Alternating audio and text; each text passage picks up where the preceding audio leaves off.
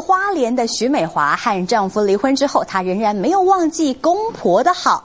不过呢，她找不到公婆的骨灰，没有办法尽孝心。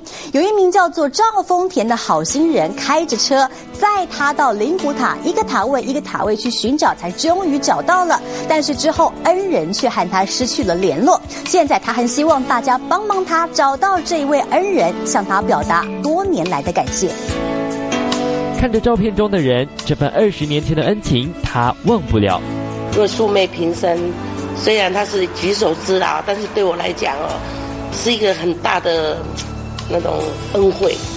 住在花莲的徐美华公婆生前对她相当疼爱，离婚后路途再遥远，她也会到台北扫墓。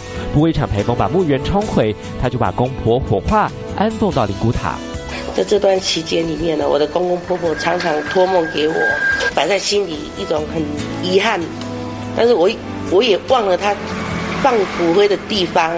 那我的丈夫也很少回来，也跟我们没有联。原本只是绽放在台北的骨灰，一放就是十几年，人生地不熟，时间一久也忘了骨灰放在哪了。我知道是辛亥隧道那个附近，那结果真的，呃，让我把我公公婆婆的骨灰找找到了。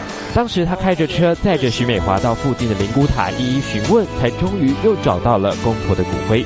二十年过去，原本是过客，却成了恩人，希望能够找到他，别让恩人又成了过客。